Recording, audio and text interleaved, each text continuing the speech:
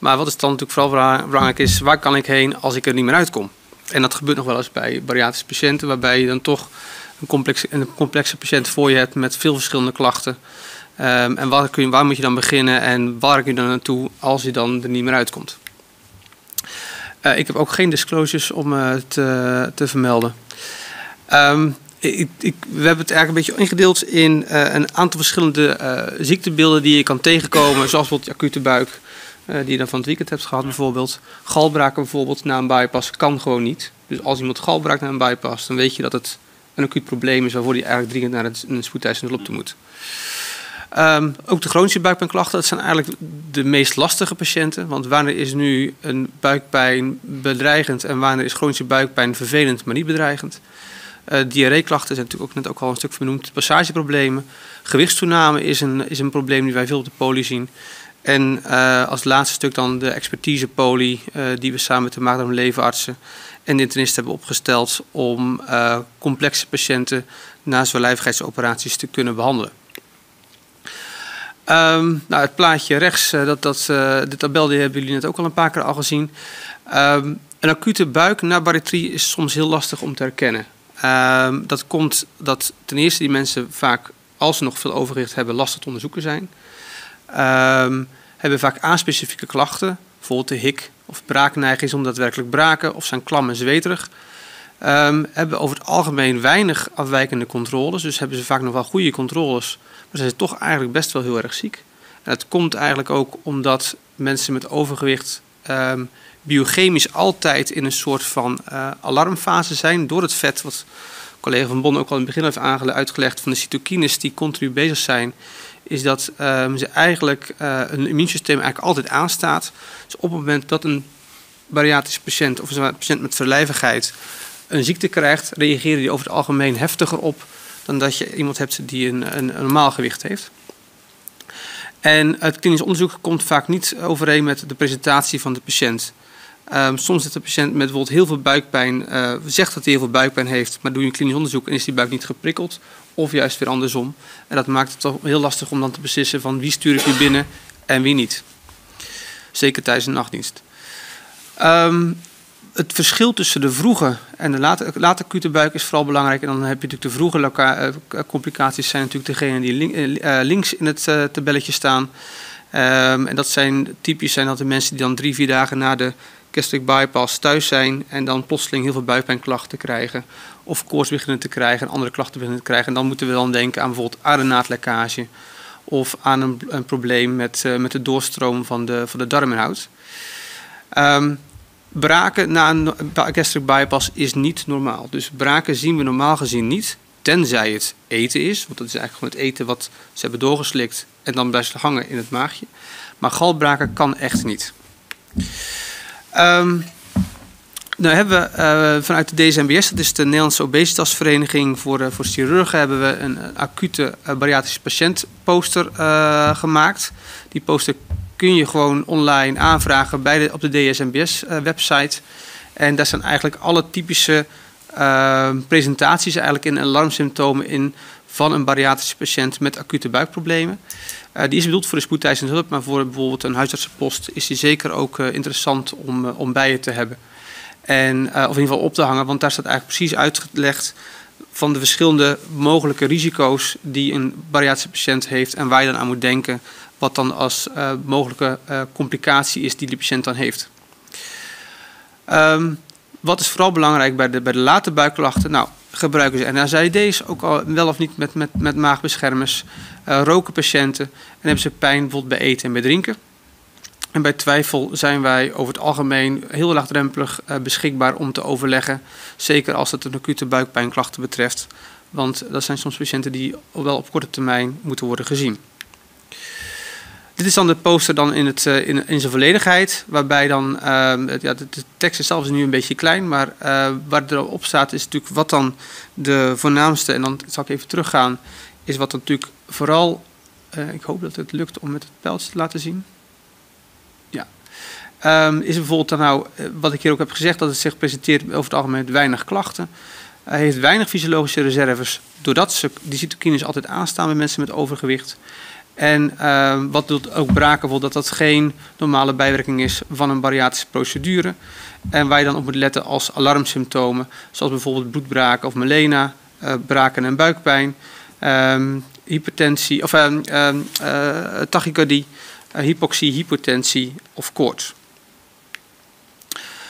Um, daarnaast wordt dan vermeld wat zijn dan de verschillende, de grootste risico's eigenlijk die zo'n patiënt vroeg en laat loopt. En met welke ziektebeeld je dan uh, aan moet denken en hoe je dat dan het beste behandelt. Daarnaast staat rechtsbovenaan in die poster ook de verschillende procedures die, uh, die plaats kunnen vinden in Nederland of in het buitenland. Maar dat je in ieder geval een idee hebt van oké, hoe zit dan die constructie in elkaar en waar moet ik dan aan denken. Um, chronische buikpijnklachten is een, is een hele lastige groep met, met mensen. Um, in de normale Nederlandse populatie komt het ongeveer al met 7% uh, van de mensen die wel eens bij de huisarts komen met buikpijnklachten. Bij de gastric bypass of, bij de sleeve, maar voornamelijk bij de gastric bypass, omdat je daar ook een darmomleiding aanlegt, zien we die buikpijnklachten vaker voorkomen in ongeveer 1 tot 10%, uh, ongeveer 10%. En um, daarvan is het belangrijk om te vermelden dat het dus zeker niet altijd van de gastric bypass afkomt. Alleen het nadeel is, is dat bewijst het maar dat het iets anders is dan van de gastric bypass. Dus vaak moet je een hele puzzel met die mensen leggen om um, er uiteindelijk achter te kunnen komen van oké, uh, het is door de bypass of het is door een ander probleem. Heel vaak is obstipatie een onderliggend, uh, onderliggende reden. Um, of bepaalde voedingsovergevoeligheden die kunnen ontstaan. Maar uh, het, het, is vooral die puzzel om het uiteindelijk vast te stellen, is iets wat we nog wel eens op die expertisepolie dan, dan doen. Um, één op drie mensen heeft wel eens buikpijn binnen de vijf jaar na een bariatrische ingreep. En uh, in de meeste gevallen wordt hier gewoon ook direct een oorzaak voor, of vrij snel een oorzaak voor gevonden. Dat is of een ulcus, of een keer galsteenklachten, of obstipatie, of een buikwandprobleem, zoals bijvoorbeeld acnes. Um, maar 1 op de 10 heeft dus uiteindelijk die chronische buikpijn. En dat, uh, er zitten een aantal risicofactoren aan vast. Bijvoorbeeld mensen die werkloos zijn of die roken. Uh, of dat die een postoperatieve complicatie hebben gehad. Of uh, preoperatief gebruik hebben gemaakt van hele sterke analgetica. Bijvoorbeeld mensen die al chronische pijnproblematiek hebben. Die voor de operatie die zijn ook meer voorbeschikt op het ontwikkelen van chronische buikpijnklachten. Um, daarom is het ook heel belangrijk, ook, zeker ook wat ook net gezet werd over de obstipatie, is vermijd zoveel mogelijk het gebruik van voornamelijk de snelwerkende, dus oxycodon, uh, morfinometica, en ook uh, langdurig gebruik van die medicatie. Enerzijds voor de verslavingen en anderzijds voor het uh, ontwikkelen en het onderhouden van chronische buikpijnklachten. Het is soms ook heel moeilijk om aan een patiënt soms uit te leggen dat het juiste stoppen van de pijnmedicatie ervoor zorgt dat ze geen pijn meer gaan hebben omdat een obstipatie bijvoorbeeld dan beter wordt. Een uh, gekend fenomeen, of in ieder geval meer en meer gekend wordt, is, is acnes. Dat wil eigenlijk zeggen dat is een zenuwirritatie in de buikwand. Um, dat ontstaat, uh, kan om verschillende redenen ontstaan. We zien het um, voor ons gevoel wat vaker ontstaan bij mensen die uh, fors gewichtsverlies hebben gehad na een, een zwaarlijvigheidsoperatie. Aan de ene kant zou het zeker te maken kunnen hebben met het feit dat um, doordat ze veel zijn afgevallen, de huid meer aan de, huidzenuw, of aan de buikwandzenuwen trekt. En dat daardoor eigenlijk de ontwikkeling kan ontstaan van acnes typisch ongeveer een 5 centimeter tot, uh, tot 8 centimeter vanuit de midline, vanaf de navel gerekend, naar links of naar rechts. Um, acnes is een, is een uh, pijnprobleem die ontstaat uh, voornamelijk bij bewegen, tillen of inspanning typisch wat mensen dan zeggen is bijvoorbeeld als ze hun schoenen moeten strikken of moeten aantrekken. Het kammen van of het, achter, het uittrekken dat het dan pijnklachten kan geven. Of het in een uitstappen van de auto dat ze dan juist veel moeite hebben. En dat de pijn neemt meestal toe in de loop van de dag. Kunnen ze echt met één vinger aanwijzen. En kan soms echt heel invaliderend zijn. Um, dan kun je dat als huisarts kun je dat eigenlijk vrij makkelijk kun je dat, um, eigenlijk behandelen. Want als je acnes vermoedt, is eigenlijk een simpele injectie met 1% eh, lidocaïne, uh, ongeveer een 10 cc, net onder de fascie, eigenlijk, dus onder de buikwandfascie, injecteren op de plek waar ze de meeste pijn aan geven, is eigenlijk al een manier om, het, om de diagnose te kunnen stellen. Want vaak geeft dat dan, als het goed gezet is, de injectie, en de diagnose klopt, dan is dat bij veel mensen is dat eigenlijk al gelijk al een behandeling. Want een aantal van die mensen raken eigenlijk al van de pijn af, ook langdurig. En uh, bij een grote groep van die mensen is de pijn ook tijdelijk weg, wat ook bevestigt dat dan de diagnose klopt. En die kunnen dan worden verwezen dan oftewel naar het pijnteam als de pijn weer terugkomt, of naar een chirurg om het eventueel op een andere manier te behandelen, dan ook met injecties.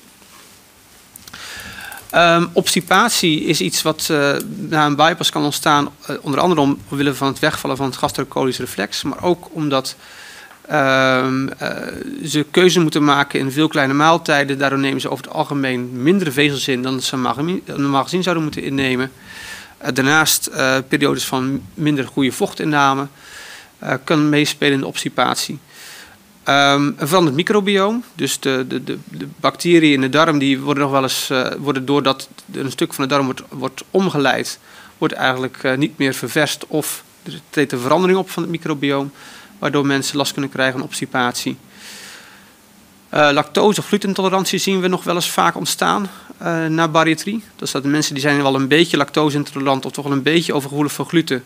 Maar na de operatie hebben ze er eigenlijk veel meer last van. Typisch heeft dat dan het, IBS-verhaal, dus het opgeblazen buik, darmkrampen, veel winderigheid, uh, misselijkheid na het eten uh, en, en, darmkrampen die ze dan vermelden. Um, en daarbij uh, kan het dus ook wel helpen om bijvoorbeeld een proefbehandeling te doen met een tijdje lactosevrij te eten. Ehm, extra vezels voor te schrijven. En vooral dus ook een voedingsdagboek bijhouden, net als ook bij de dumping. Om te kijken van zien we relatie met bijvoorbeeld iemand die elke dag bijvoorbeeld 2 liter melk drinkt en heel veel diarreeklachten heeft, dat het best wel zou kunnen komen op basis van uh, lactoseovergevoeligheid. Um, ook hiervoor kan de expertise poli uh, worden gebruikt uh, om, um, als het er niet uitkomt, om dan extra informatie, of in ieder geval de patiënt naartoe te verwijzen voor een, voor een analyse. Um, naast obstipatie is diarree natuurlijk ook een hele vervelende klacht die mensen kunnen hebben na zo'n lijvigheidsoperatie. Um, in 75% van de gevallen is ontlasting veranderd na, de, na een zwaarlijvigheidsoperatie. Uh, waarvan maar 4% ontstaan is doordat de operatie um, iets te enthousiast is uitgevoerd. Dus waarbij eigenlijk een soort van, een soort van short bowel ontstaat. Dat eigenlijk dat de resterende dunne darm die moet zorgen voor het opnemen van de voedingsstoffen en het indikken van de ontlasting, dat het eigenlijk te weinig is. Uh, maar lactose en fructose is een gekend probleem die uh, kan ontstaan omdat uh, het minder goed wordt afgebroken en daardoor voor meer gasvorming en ook meer diarree en darmkrampen kan, kan zorgen.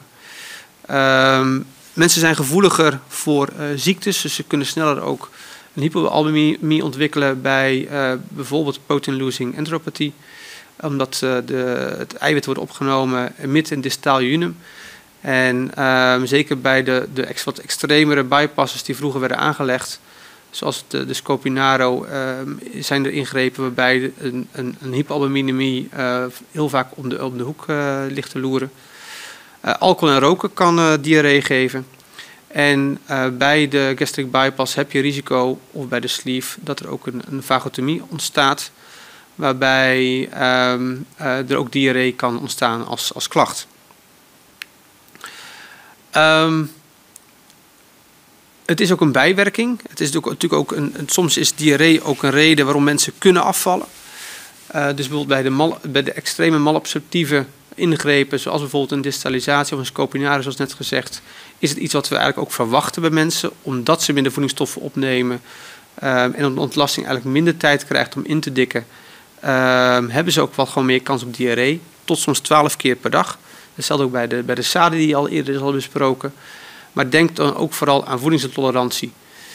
Um, en een, een, dieetdagboek bijhouden is vaak al heel erg uh, inzichtelijk bij mensen die, die zo'n ingreep hebben gehad. Maar ook bij een gewone bypass en ook bij een sleeve.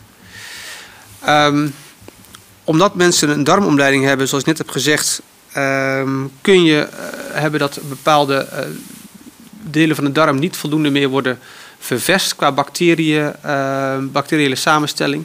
En wat je dan kan krijgen is wat ze noemen een Small Intestinal Bacterial Overgrowth, of SIBO. En dat geeft allerlei symptomen. Dat gaat van uh, dat erg lijkt op, uh, op prikkelbare darm. Wat ik net al zei, de opzette buik, misselijkheid, uh, diarree, het opgeblazen kikkergevoel. Um, wat kun je daaraan doen? Nou, als je dat vermoeden hebt, dan moet je natuurlijk eerst denken natuurlijk aan IBS zelf. Want het is eigenlijk, dat is iets wat veel vaker voorkomt dan die SIBO. Maar een behandeling bijvoorbeeld met antibiotica voor 14 dagen is een goede test om te kijken van is er eventueel dat onderliggende. Dus dat is vaak een van de laatste stappen die we doen bij mensen met deze klachten. Eerst doen we vaak de conservatieve maatregelen, extra vezels, eventueel laxantia of juist uh, dus op psylliumvezels of laxantia. Um, pepermuntoliecapsules zullen nog wel eens heel goed werken. Uh, dan is eigenlijk lactose wat we vaak dan controleren of be beoordelen. En als het allemaal niet werkt, dan is een, een, proefbehandeling met antibiotica een hele goede manier om te kunnen kijken van is dat het eventueel niet. Als laatste, waar ook nog wel aan gedacht kan worden, um, voor de, tenminste een van de laatste dingen is galzoutdiarree. Uh, doordat de ontlasting minder goed wordt, of dat de, de, darm verkort is, kunnen mensen galzoutdiarree krijgen. Dat is vaak een hele irriterende ontlasting. Wat vaak, dat, het brandt ook heel erg. Uh, Questran is dan bijvoorbeeld iets wat men kan geven dan als behandeling om te kijken van kan dat uh, ervoor zorgen dat uh, die, die diarree minder wordt. Um, wat we heel soms wel eens zien bij mensen met een, uh, met een bypass, maar zeker ook bij de malabsorptieve ingrepen, is dat um, er een vettige diarree ontstaat, dus echt steatoree. Dat, uh, dat is echt, dat kan soms heel fors zijn. Dat heeft dan te maken met het feit dat de dunne darm gewoon niet voldoende tijd krijgt uh, om de enzymen bij de ontlasting te laten werken om het, om, de, het vet af te breken. We zien het ook ontstaan bij mensen die suikerziekte hebben gehad in het verleden. die alcoholmisbruik hebben um, of op basis van hoogcalorische voeding, te veel geraffineerde suikers waardoor um, er eigenlijk te weinig elastase, dat is een enzym vanuit de alvleesklier, bij de ontlasting uh, terecht kan komen, waardoor um, die steatoree kan ontstaan. Um, typische wat die mensen dan vertellen is dat ze ontlasting hebben wat niet doorgespoeld kan worden, of waar ze dan vier, vijf keer over moeten doorspoelen om het uiteindelijk weg te krijgen. Dat echt zo blijft drijven op de, in de wc. En vaak ook een hele vettige uh, uitzicht heeft. Je kan het controleren middels een feeselelastase. Dat is iets wat we nog wel eens op de poli ook aanvragen. Maar over het algemeen via de MDL-artsen loopt. als dat minder dan 200 microgram per gram is, dan wil dat eigenlijk zeggen dat er te weinig elastase in de ontlasting zit. En is uh, de diagnose van extracrine pancreasinsufficiëntie best wel reëel. En vaak doen we dan een proefbehandeling met uh, pancreasenzymen. Dat is hetzelfde eigenlijk wat we ook worden gegeven mensen die een alvleesklierensectie krijgen. Uh, dat is dan pancrease of pancitrat. En uh, dat, uh, dat geeft dan heel goede resultaten. Heeft ook weer nevenwerkingen, dus het is ook iets wat, wat we dan een, een, tijdje kunnen proberen, maar waar het soms nodig is om bijvoorbeeld de therapie wat af te bouwen, omdat ze dan bijvoorbeeld te veel buikpijnklachten krijgen of te veel obstipatieklachten krijgen. Um, dat is natuurlijk iets wat je als huisarts zelf kan, kan proberen te doen. Maar ik kan ook heel goed geloven dat, dat dit iets is wat je liever doorstuurt naar een maagdarmlevenarts. Maar zeker op het moment dat een patiënt natuurlijk een vettige diarree um, beschrijft, dan is dat iets waar, waar aan gedacht kan worden. En ook hierbij kan een eetdagboek helpen. Zeker gezien die hoogcalorische voeding en geraffineerde suikers uh, als, uh, als uitlokkende factor um, onderliggend kunnen zijn. Um, passageklachten of pijn bij het eten en reflux, dat is iets wat we eh, bij een sleeve vaker zien dan bij een gastric bypass. En het heeft te maken met dat een sleeve een, een, een hoge druksysteem is en een bypass een laag druksysteem. Een van de redenen waarom een sleeve ook werkt, is omdat het eten en drinken gewoon minder goed zakt. Uh, door de hogere druk. Daardoor hebben die mensen ook meer kans op het krijgen van refluxklachten. En ook op het krijgen van passageklachten. Maar die passageklachten zijn eigenlijk ook weer een beetje de reden waarom het zo'n sleeve weer goed werkt.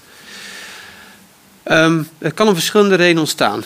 Um, een van de redenen die, uh, die kan ontstaan is dat bijvoorbeeld er een irritatie is van het slijmvlies van de slokdarm zelf, dus refluxesophagitis, of door een maagsfeer. Um, een slecht werkende slokdarm kan soms eens onderliggend zijn. En bij een gastric bypass kun je een, een, zwelling krijgen op de maag-darmverbinding, bijvoorbeeld op basis van een maagsfeer of door een gastritis wat er ook uh, dan passageklachten kan geven. De typische vraag die dan eh, kan gesteld worden, is het dan bij de eerste hap? Want dan heb je vaak al een hoge obstructie of een hogere obstructie. Of is het iets wat ontstaat na een paar happen of vlak na de maaltijd en is het meestal een lagere obstructie. Wat is dan het verschil? Hoog is eerder in de slokdarm en laag is de hoogte van het maagje of de maag-darmverbinding. Is de pijn continu aanwezig en erger bij eten? Denk dan altijd aan een maagsfeer. Zeker bij een gastric bypass. Dan wel refluxesophagitis, dan wel gastritis. Um, een gros van deze mensen rookt. Dus een van de belangrijkste dingen die wij adviseren aan die mensen is: stop alsjeblieft met roken. Doe dat via, een, uh, doe dat via de huisarts. Uh, doe dat via stoppen met rokenpolie. Doe dat uh, met We Quit is bijvoorbeeld een online programma wat gevolgd kan worden, wat verzekerd is, waarmee mensen kunnen stoppen met roken.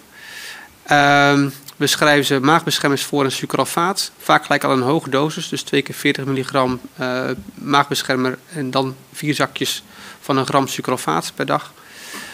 Um, en indien geen verbetering, dan, dan krijgen bij deze de meeste mensen bij ons ook een gastroscopie als ze deze klachten blijven houden. Um, zoals al eerder al gezegd, um, kan bij de sleeve kunnen een groep mensen daar uh, refluxklachten bij krijgen. Dat is ongeveer 1 op de 5 tot 1 op de uh, uh, 3 die dat kunnen krijgen. De meesten reageren heel goed op behandeling middels voedingsadviezen, stoppen met roken, maagbeschermers. Bijvoorbeeld niet eten na 8 uur s'avonds omwille van nachtelijke reflux. Dat is vaak een typische klacht die ze dan hebben. Werkt dat niet, dan is een verwijzing naar een maagdarmlevenarts of een, of een chirurg altijd een, een goed ding om te doen. Wat het dan nodig kan zijn om eventueel aanvullend onderzoek te doen. Um, nou ja, gewichtstoename is natuurlijk ook al net al benoemd. Uh, in het kort, uh, het is altijd heel erg vervelend voor de patiënt, want over het algemeen hebben ze geen flauw idee hoe het kan en komen ze echt met een hand in het haar van dokter. Ik ben uh, weer 20 kilo aangekomen, maar ik, ik, ik, sport vier keer per week en ik eet normaal en hoe kan dit? Toch is leeftijd vaak wel de hoofdzakelijke veroorzaker, maar zeker niet altijd. Dus denk zelf ook goed na van, heb ik net iets van medicatie gewisseld? Uh, zit de patiënt in de overgang, dat is vaak een lastige periode voor vrouwen. Uh, ook zeker qua gewicht. Uh, psychische decompensatie eh, kan soms meespelen, verslavingen. Um, en in zeldzame gevallen kan het zijn op basis van constructieproblemen van de bypass zelf of van de sleeve. Um, door bijvoorbeeld complicaties zoals bijvoorbeeld een te grote pouch of een fistel of uh, andere redenen waardoor uh, mensen terug gewicht kunnen aankomen. Um, en mensen kunnen in de loop van de tijd ook weer terug een hongergevoel krijgen, waardoor ze veel meer moeite moeten doen om gewicht kwijt te raken. En om het, vast, en eigenlijk om het vaste vol te kunnen houden. Een verwijzing van de diëtiste kan altijd heel goed helpen. Glie kan een, een, een zeker een, een, goede stap zijn om die mensen naartoe te gaan als ze daarvoor gemotiveerd zijn. Weet dat mijn Simba een oplossing is voor mensen die barytrie hebben gehad en gewichtstoename hebben. Al vanaf een BMI van 27, dus het is al, al wel vroeg inzetbaar met risicofactoren. Daar kom ik zo meteen nog even op terug. En uh, uh, dat is dan natuurlijk wel alleen van goed als ze een jaar GLI gevolgd hebben. Ze mogen geen GLP-1-analoog op dit moment nog krijgen, uh, omwille van vanuit de verzekering. We hebben ook revisiechirurgie die we kunnen doen. Uh, maar ook deze operaties die hebben weinig tot niks te winnen als er geen adequate levensstijlverbetering is. Dus als mensen bij ons komen met gewichtstoename, dan proberen we eerst alles te doen om ze te behandelen zonder operatie. Tenzij ze zoveel zijn aangekomen dat, dat eigenlijk een, nieuwe operatie de enige manier is om ze eventueel nog de goede kant op te duwen. Um, om het allemaal uh, zoveel mogelijk uh, te, kunnen begeleiden, hebben we um, gewichtstoename eigenlijk onderverdeeld in een aantal um, uh, zorgpaden. En het zorgpad gewichtsproblematiek is wat we op dit moment bij, bij Vitalis um, handhaven. En dat wil het eigenlijk zeggen, als mensen bij ons komen met een gewichtstoename, dus de mensen zijn goed afgevallen, dat wil zeggen meer dan 20% zijn ze kwijtgeraakt, maar hebben toch weer gewicht aangekomen dat is ongeveer tussen de 5 en de 10 procent van hun laagste gewicht, dan, uh, kunnen ze, uh, dan kunnen we ze eigenlijk analyseren om te kijken wat is nu het onderliggende probleem. We hebben ze liever iets te vroeg dan iets te laat natuurlijk bij ons als ze gewichtstoename hebben, zodat we er ook vroeg genoeg bij kunnen zijn um, om ze te kunnen helpen waar, op welke manier dan nodig. Met de diëtiste, eventueel met een psycholoog, eventueel met medicatie uh, enzovoort. Um, dat is, dit is de, in ieder geval de eerste stap die we met deze mensen doen.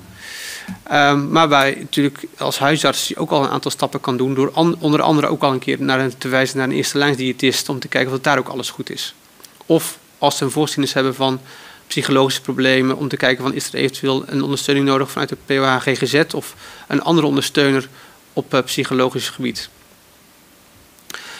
Um, zoals ook al werd aangegeven, wat ook net ook, een, een, een, een, tijdje geleden werd besproken, is de insufficient weight loss. Dat is de mensen die dus eigenlijk wel gewicht zijn kwijtgeraakt, maar niet voldoende. Dat is een, dat is een lastige groep, dat zijn er niet zo heel veel. Maar de allerlastigste groep zijn eigenlijk de primaire non-responders. Dat zijn mensen die een operatie krijgen, zoals ieder ander, maar eigenlijk gewoon minder dan 5% van het lichaamsgewicht kwijtraken. Dat zijn echt mensen waarbij we gewoon vaak ook niet kunnen achterhalen waarom ze niet zijn aangekomen of afgevallen. Um, en is het echt een puzzel om te bedenken van oké, wat kunnen we dan voor die mensen doen? En als laatste groep is ook nog wel een groep die we nog wel eens zien, is um, een groep mensen die had gehoopt meer afgevallen te zijn geweest dan dat ze uiteindelijk gedaan hebben. Bijvoorbeeld, eh, ze zijn 30% van lichaamsgewicht kwijt, maar hadden gehoopt op 50. En um, zijn dan eigenlijk teleurgesteld in hoe ze het doen. En dan moeten ze eigenlijk dus vooral eigenlijk mentaal uh, duidelijk ondersteunen dat dit eigenlijk gewoon een heel goed resultaat is, dat ze er ook hartstikke trots op mogen zijn. Um, we hebben bij Vitalist Expertise Poli. Dat is een, een, een poli die bedoeld is voor um, problemen uh, die multifactorieel zijn, zowel op MDL-niveau als op internistisch als op chirurgisch niveau. En uh, daar zit onder andere ook collega van Bon zit daar uh, op die poli. Een aantal maagdarmlevenartsen die draaien daar poli. En onder andere ook ik draai de poli. Waarbij we dan ook proberen die mensen dan op één dag zoveel mogelijk door, de, door alle disciplines te kunnen laten zien als het nodig is. Of door één van de, of twee van de drie. En het voordeel daarvan is dat we het ook op die manier ook multidisciplinair kunnen overleggen. Waardoor we ook hopen dat de kwaliteit verbetert en de dorptijd afneemt. Er zijn ook minder patiëntenbewegingen noodzakelijk, minder bezoekmomenten. En uh, daarvoor hopen we ook dat we ook richting de huisarts ook meer um, service kunnen bieden door het probleem gelijk van alle kanten aan te kunnen pakken. Uh, belangrijk hierin zijn onze andere onze verpleegkundige specialisten die hier ook aan tafel zitten, die ons daar dan ook ondersteunen en eigenlijk een soort van spinnend web zijn om alles in goede banen te leiden. Nou, welke patiënten komen op die expertisepolie? Alles wat ik net besproken heb, kan daar komen. Het gaat van reflux tot anemie, tot verlaagd albumine, ondergewicht enzovoort. Um, dus als men er niet uitkomt, is dit zeker een optie om uh, een, ons in advies te vragen en uh, te kijken van wat kunnen wij voor die patiënt uh, doen, zodat wij een advies kunnen geven die dan de huisarts dan eventueel verder kan zetten. Of zijn er patiënten die wij zelf onder onze hoede moeten houden, omwille van bijvoorbeeld polyproblematiek die eigenlijk gewoon te lastig is om in een huisartspraktijk goed te kunnen ondersteunen. Um, wat hebben we daarnaast nog? Want ik denk dat de tijd bijna klaar is. Uh, wat hebben we daarnaast nog als, als expertises? Uh, nou, een van de problemen die mensen hebben na een gastric bypass is dat ze niet meer bijvoorbeeld een ESCP kunnen krijgen. Omdat er geen verbinding meer is tussen de, of in ieder geval een heel lastige verbinding is tussen de, tussen de darm en de, tussen de, het, nieuwe maagje eigenlijk wat u hier van ehm, boven ziet. Dat, dus normaal gezien wordt er bij de ECP bijvoorbeeld een, een, ECP uitgevoerd via duurdelen, maar dat gaat nu niet meer, want die verbinding is weg. En wat we dus eigenlijk dan doen, is dat we een, een kijkoperatie de maagdarmlevenarts ondersteunen door een ECP te kunnen uitvoeren uh, via een gaatje in de, in de, in de restmaag die, die is achtergebleven. Uh, daarnaast ook al vermeld de zwangerschap, dus daar kan ik snel overheen uh, gaan. Waar je vooral op moet letten is dat mensen dus niet mogen zwanger worden zolang ze nog gewicht kwijtraken. En het liefst dus niet in het eerste jaar tot anderhalf jaar na de, na de zwaarlijvigheidsoperatie. En um, dat wij ook een expertise daar ook hebben um, uh, voor uh, vrouwen met overgewicht. Uh, die, of die een verlijvigheidsoperatie hebben gehad, die zwanger zijn of willen worden. Daar kunnen mensen ook naar ons worden toeverwezen. En daar is een poli die waar bij de gynaecologie en de interne gecombineerd ehm, vrouwen begeleiden die zwanger zijn of die zwanger willen worden. En we zijn een tertiair verwijscentrum voor allerlei andere problematieken, uh, zowel complicaties uit, het, uh, uit uh, Nederland als uit het buitenland. mensen met een BMI van boven de 100, met speciale stofwisselingsziektes enzovoort. Ik denk dat ik het hierbij ga laten.